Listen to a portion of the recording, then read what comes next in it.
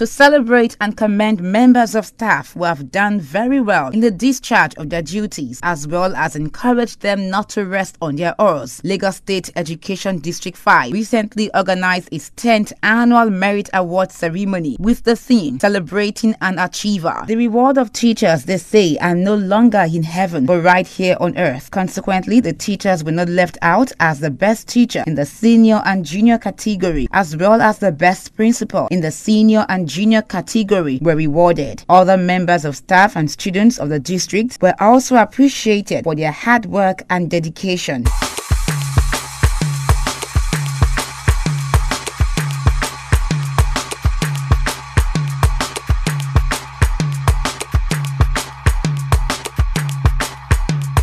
The day was spiced up with a cultural presentation by the students.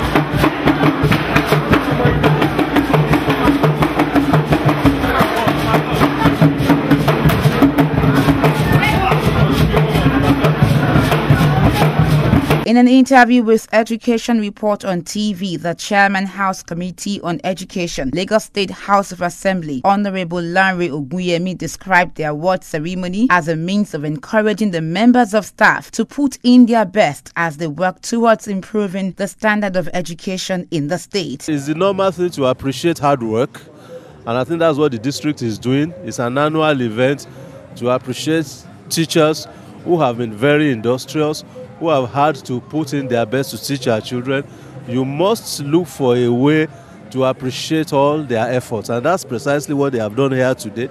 And I think it will spur others, you know, to hard work and it will continue to wield the system such that the excellence that the state is known for will continue to be the watchword. The Tutor General Permanent Secretary of the district, Mrs. Florence Ebuoluwa, and the Director General Office of Education Quality Assurance, Mrs. Ronke Soyombo, urged all members of staff to be hardworking and committed to their jobs. I'm extremely very happy because the essence of us taking salary from the Lagos State government is to put in our best to ensure that uh, there is improved teaching and learning outcome in all our schools and so I know that um, the Lagos State government also would want that those who are working hard to achieve this aim are rewarded.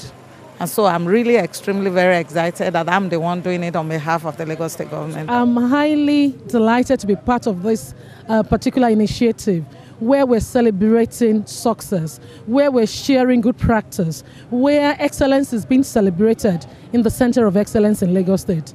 Because teachers have worked really hard and um, they have not been neglected. They are actually being identified.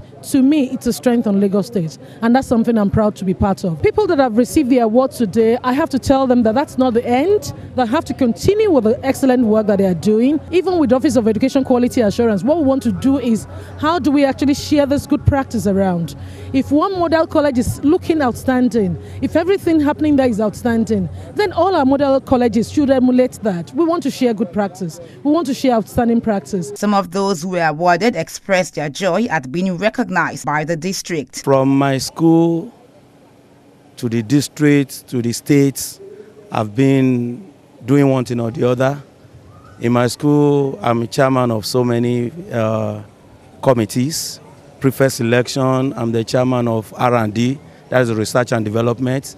I train teachers, I train students for leadership roles. I train teachers to be real professionals. I've been going around schools. They call me in all schools, particularly when students want to write WAEC. I go there.